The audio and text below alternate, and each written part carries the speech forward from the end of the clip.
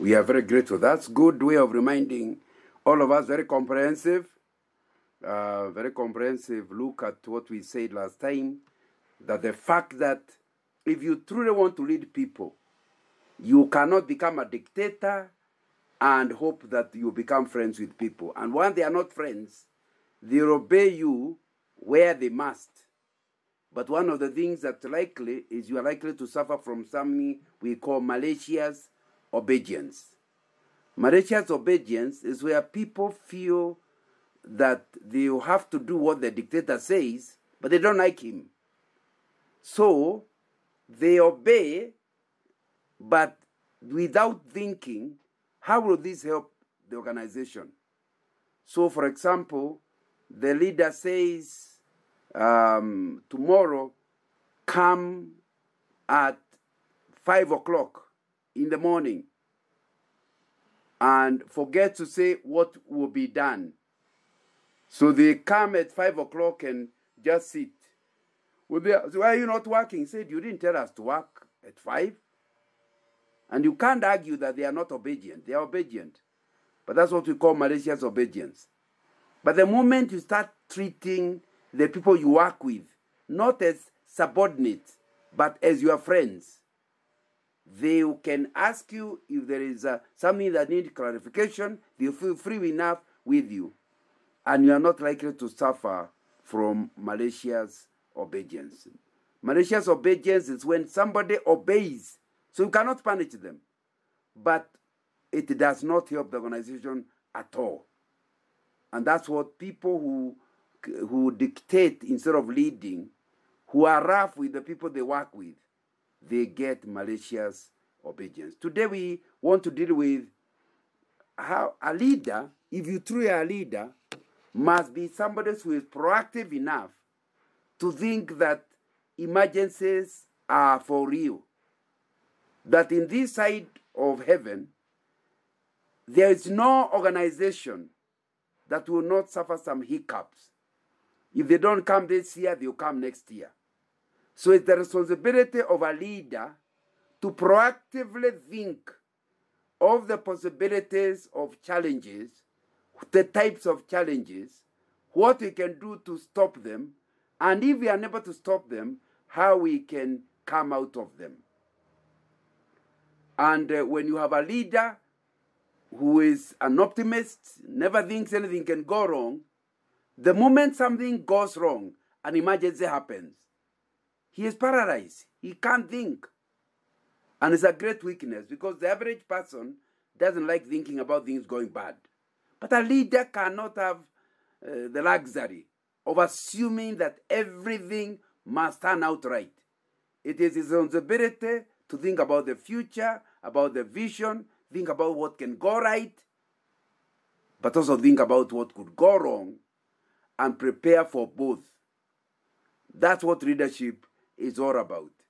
And it's my prayer that um, God, in His wisdom, will help every one of us to know that's what leadership is about. All your friends are enjoying the meeting, all your friends are, are enjoying what's happening, but a leader is thinking, will the next speaker come? What about if he doesn't come? What should I do? Instead of sitting pretty and enjoying themselves, a leader is thinking about next. Others are sleeping overnight, enjoying. But a leader in the evening wonders, tomorrow, how will the seminar be? How, what will happen with the work? But the followers, the people with the leader, just do what needs to be done. They don't have to go ahead. And that's why it's important. So you need to understand clearly that if you are truly a leader, you must assume an emergency will come sooner or later. You know, one of the problems we have is as, as Africans is against our culture to imagine something going wrong. In fact, if I told you something could go wrong and it went wrong, you accuse me of being a witch. And because nobody wants to be accused being a witch, we can see how the son of so is behaving will be in trouble. But we don't tell him. We don't tell the parents. Because you don't want that when something happens, we'll be accused of being witches. We wait until the, the, the son is totally destroyed And they say, I knew it. I knew I could see clearly. If you knew it, how come you never thought anybody would have helped to prevent it happening? It's our culture, wrong culture, which we must fight and come out against. If you can see something might happen, just share the information. Now, if you share and then it turns out the emergency never happens, there's nothing much you have lost. But if it turns out the emergency happens and you knew you could have done something to prevent it, surely, how, as a Christian, would you consider yourself uh, to be at peace with yourself and peace with God? Whether it is within our families, or within our businesses, or within our churches, if you have been given the, the leadership gift, one thing you know is that you always think ahead. After all, a leader is a person who goes ahead and others follow. It will mean you force yourself to think both of what can go right and what can go wrong. Because both both are, are going to be important and it will be something that you must be aware aware of. My my my hope is that you think of yourself in every leadership role in that way. Let's just look at uh, First Samuel chapter 21 and see David going through an emergency. Verse 1 says, David went to Nob to Ahimelech, the priest. Ahimelech trembled when he met him and asked, Why are you alone? Why is no one with you? David answered Ahimelech, the priest, The king sent me on a mission and said to me, No one is to know anything about the mission I'm sending you on. As for my men, I have told them to meet me at a certain place. Now then, what do you have on hand? Give me five loaves of bread and whatever you can find. You know, here is an emergency. What's the emergency? Jonathan has just confirmed in 1 Samuel chapter 20 that the king is looking for David to kill him. And so he needs to run away as fast as possible. He can't even go home to collect anything. And he has not eaten. So he passes through the priest and uh, asks for any food. Food provision is a critical requirement as proactive prayer for any emergency. That's why if you are the a kind of a person preparing for emergency, you normally have dry foods like biscuits. Biscuits can last a year, two years, they can last a long time. And if you are likely to go on an emergency, always remember to carry something that can give you energy. If you go, for example, in an accident emergency, and you assume it is something you are going to go for to and, and finish within hours, what about if it the, the whole process takes overnight? and you have not eaten. Number, by the morning, you will start making wrong decisions because of hunger. So it means that food provision is a critical requirement. As you think about emergencies, as you prepare for emergencies, think where will the team that is handling the emergency get their refreshments from? And it will be very important to understand. It's because human beings' thinking capacity acting capacity is reduced when energy levels go down. Look at verse 4. But the priest answered David, I don't have any ordinary bread on hand. However, there is some consecrated bread here, provided the men have kept themselves from heavy women. David replied, Indeed, women have been kept from us, as usual, whenever I set out. The men's bodies are holy, even when missions that are not, even on missions that are not holy.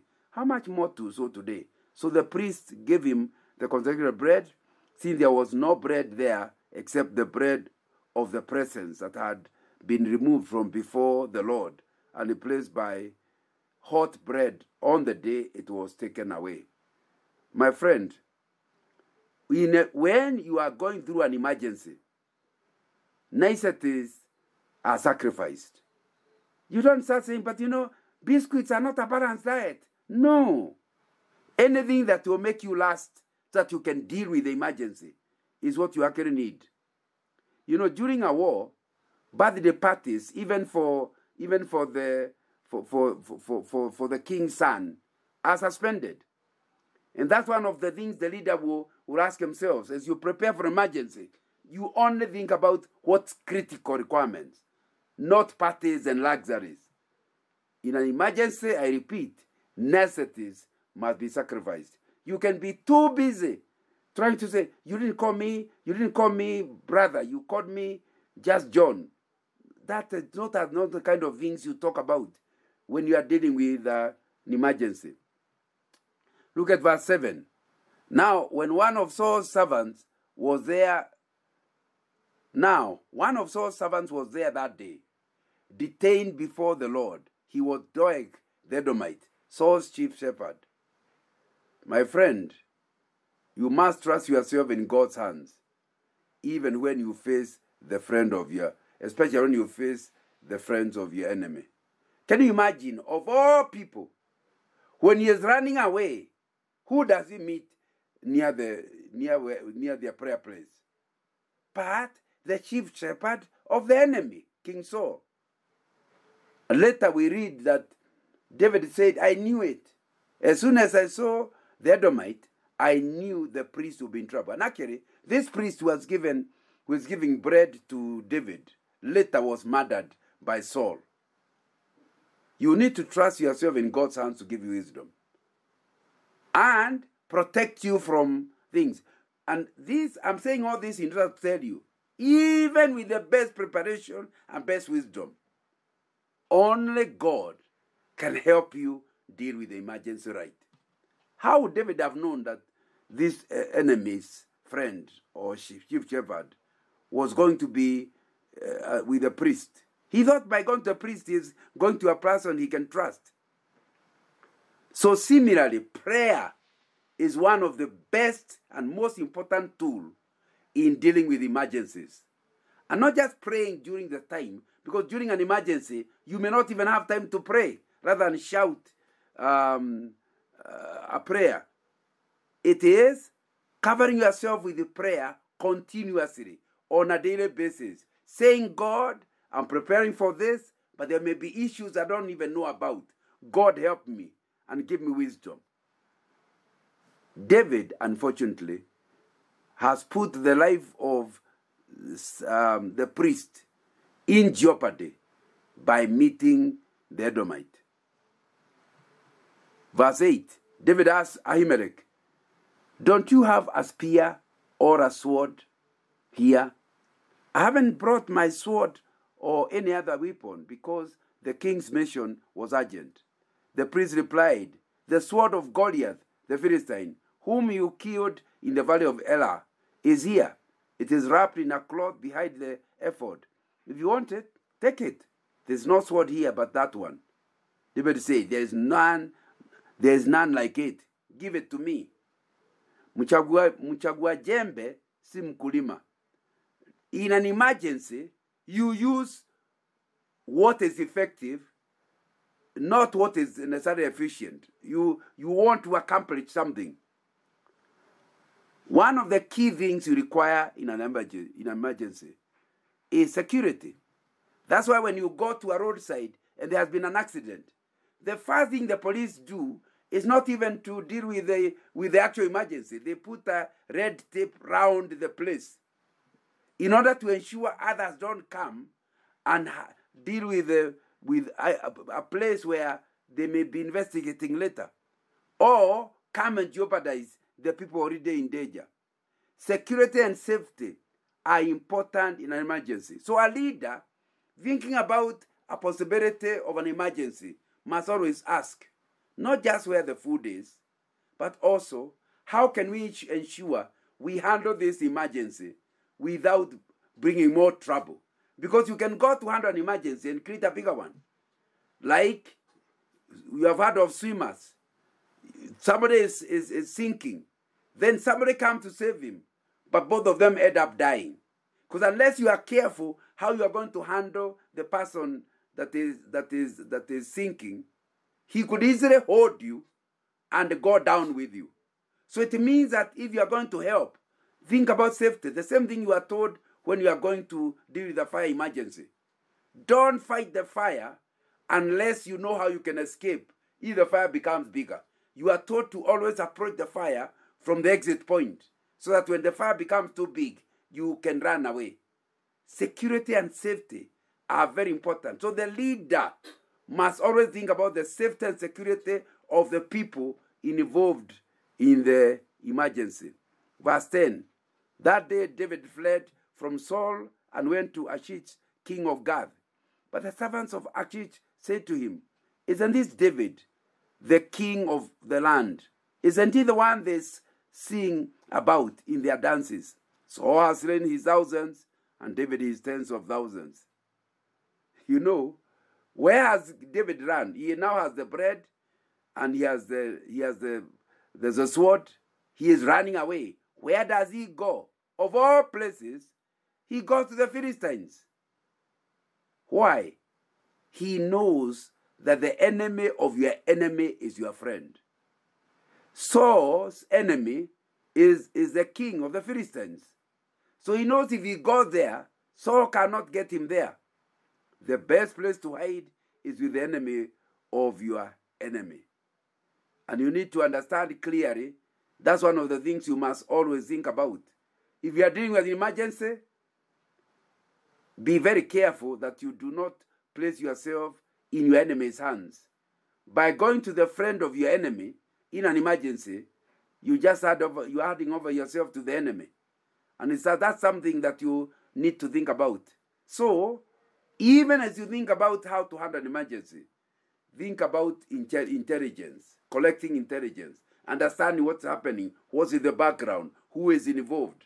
All that will be something that is important. That David seems to have done it in handling his emergency.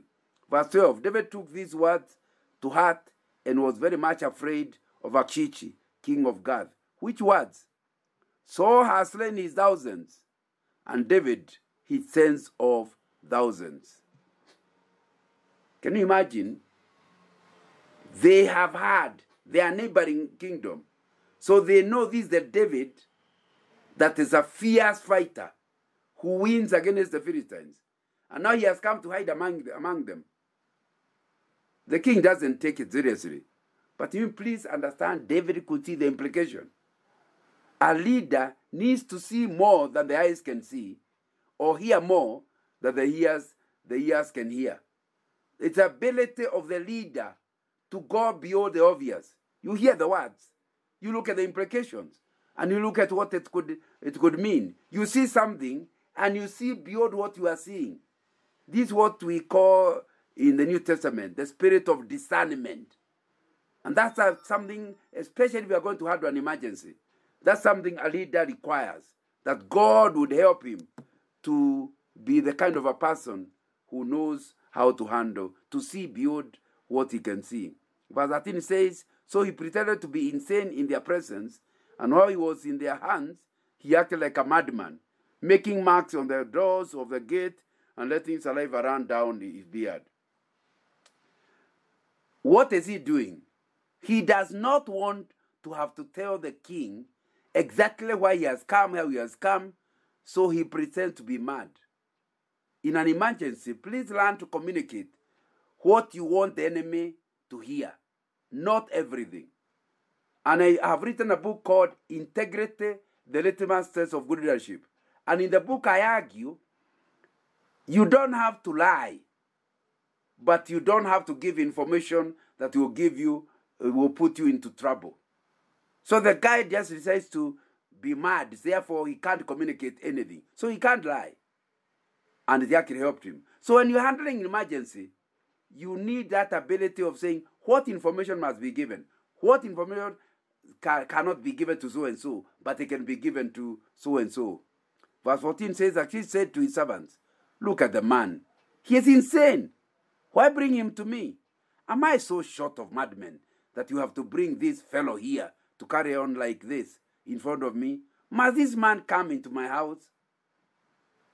You know, at times being thought a fool is an advantage. And that's what David have opted. People think he's a fool. What they don't know is that that idea will help him. And I think that's um, that's something that when people no no no don't think about it. Don't you know I have a PhD? Don't you know I am? No no no no. There are times when putting yourself in that way will get you into trouble. May the Lord help us as we think about the various the various emergencies that may come our way, that the same God who has promised to be with us to the close of this age will help us and the groups we lead to be better prepared and therefore help our group not to end up in trouble. Thank you very much. Back to Lois. Thank you very much.